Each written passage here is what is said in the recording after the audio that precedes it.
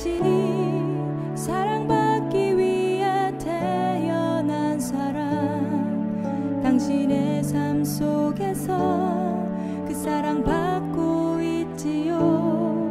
당신이 사랑